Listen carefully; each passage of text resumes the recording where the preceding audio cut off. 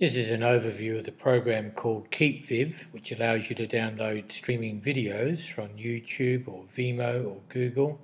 First of all, what I'll do is go to the YouTube by going to New Tab. I'll type in the word YouTube, press Enter, go to the YouTube site,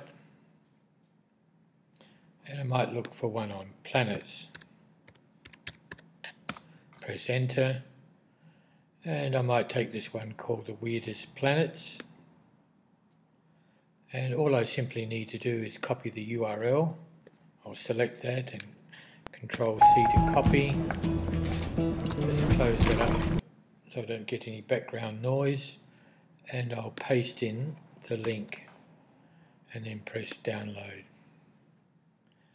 Uh, it will activate the Java applet ask me to run by accepting the terms and it will download the file in different formats. Uh, probably the best one is the MPEG-4 which is cross-platform and uh, mobile uh, ready. And all I need to do is click on to download the file, which it will. I'll save that to the desktop and you can see here it's downloading the file. It's 5 megs. Um, another thing I can do is down is by putting the KeepVid booklet on my toolbar. So in future if I do go to YouTube I'll go there again now I can just press on KeepVid and it will download automatically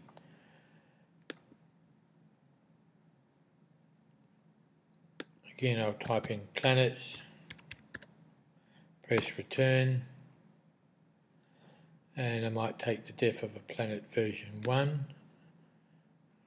and just press KeepVid.